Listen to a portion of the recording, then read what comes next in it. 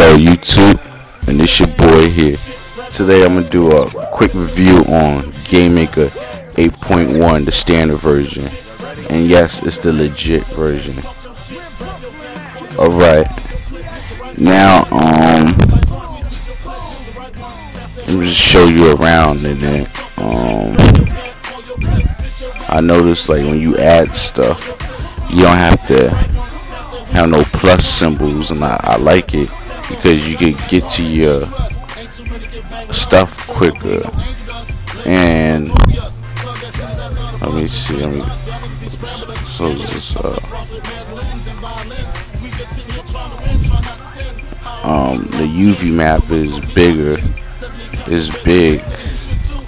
And like say for an example if I wanted to add an object on a UV map and if I wanted to delete it it gives you an option list like delete or delete every object that's present in the room edit that object or change the position or you can snap it to the grid to the X to the Y coordinates or you know send it back bring the front lock and I guess it's creation code for that object and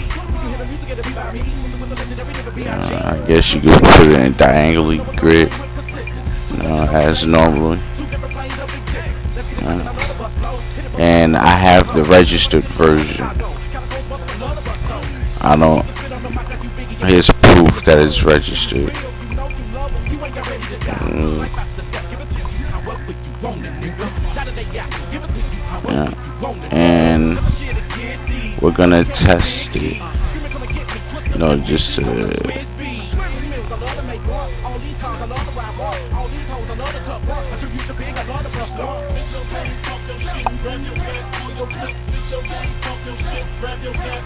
Mm-hmm. And it's the legit version. Not no hacked bullshit ones that y'all be using like Gay GameMaker or some ultimate standard version with sound effects and music playing in the background. hope you enjoyed it. And please subscribe, comment, and rate. You know what to do.